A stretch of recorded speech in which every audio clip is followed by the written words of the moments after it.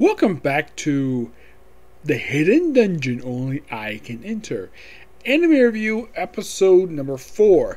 This I'm reviewing the eighth episode of, of the series. Yes, there's about four episodes left to go for this one.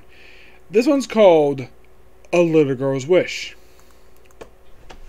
Now, picking up not long after the events of last week's episode, we have Noir walk into the forest looking for something for the receptionist stuff. Basically, it started last week. Comes across a group of silver wolves, and they're at a really high level. I think it's like 156. I think it was. He's like, "Nah, I think I'll pass these by." And he's walking for a bit. Then he comes by a little girl. Turns out she's a dryad. Yep, and it is pointed out though by him, and it pointed out to her that she is a spitting image of Emma when she was her age. Yeah, she seriously is. We have a flashback of her as a child of how she got the hairpin that she has in her hair, where Noir gave it to her as a birthday present. Yes, gave it to her as a birthday present because he says it matches her eyes, which she loved it. Mm-hmm. Yep, and the Dryad explains that she's dying because a monster is attacking her. What monster is it? A golden bee. A level two, 330, uh, 236. Like, damn, that's pretty high. He mentions currently he's a level 66. Interesting to say the least. I'm sure by the end of this, his level probably went up dramatically, especially since he pretty much helped downplay a, a very high level monster. So, and we all see what the thing is doing. It's sting its stinger inside the tree itself and sucking out the mana.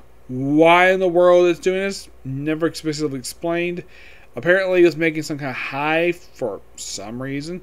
So it was like, no, okay. So I'll go. So he visit his master, Olivia. So basically, they come with a very interesting plan.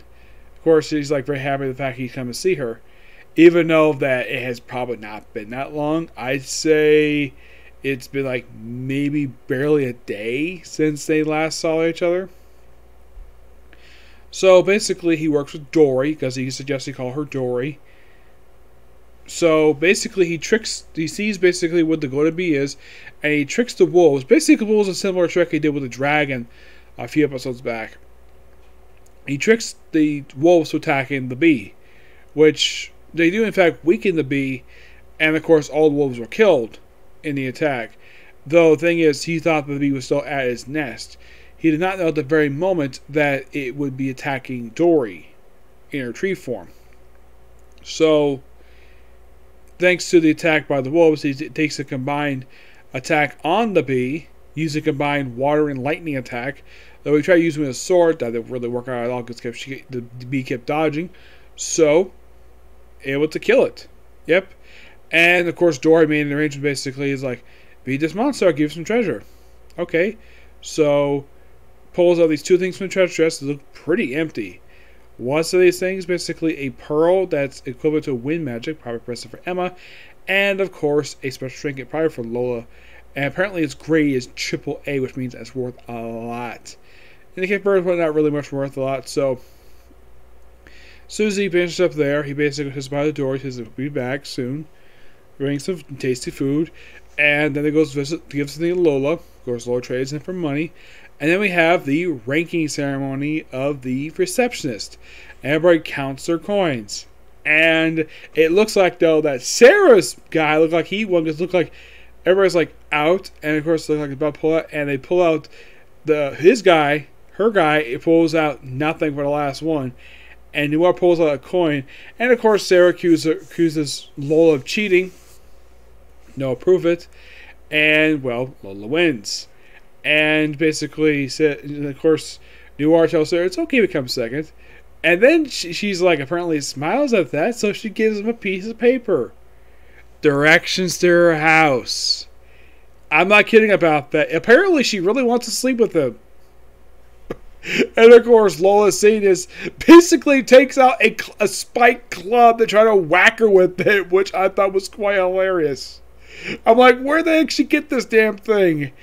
And oh yeah, and also Emma, who's in present day. You see her for a brief cameo a couple times, and she doesn't say anything. Same thing with Luna. Nothing. Great to see these two. Quick cameo. that's simply it. This episode kind of in the light wraps something to start for the last episode with the whole thing reception battle. Excuse me. Next week's episode is going to be about Gala. Interesting to say the least. Now, if you're curious to what chapters of the manga for the Hidden Dimensional Entities covers, chapters 19 and 22. Yeah, mostly, anyways. Mm-hmm.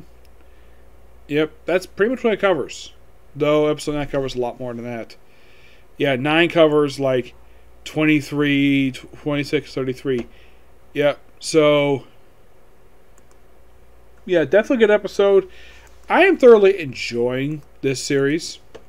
I thoroughly am. It's a great series. Though I probably will review when the final episode. I'm probably right now. Is there enough material during a season? Hmm. I don't think so. I mean, there's only officially about six books released. And from what I can tell so far, it looks like there having just one book this season. The book itself is not very long.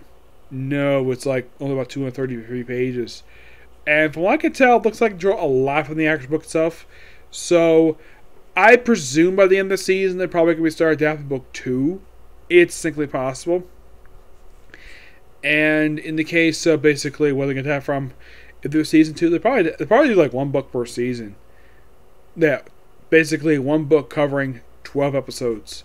Who knows? It just depends where the season wants to go. But but right now there's not technically enough chapters in the manga to do a season. Probably gonna wait a bit when the season's over with. Well, the season well, actually ended like a month ago. They're probably gonna wait a little while before doing their season. That's probably what they're gonna do. Yep. So yeah, that's it for Sick Review. Stay tuned for my reviews for my next one is going to be Case Closed. Yep, that'll be next. And then My Hero Academia, and then finally Yashahime Princess Half Demon. But that'll be up soon because because basically I'm way a bit to put this video plus the previous two, then record Case Closed. Okay, to this video. Bye.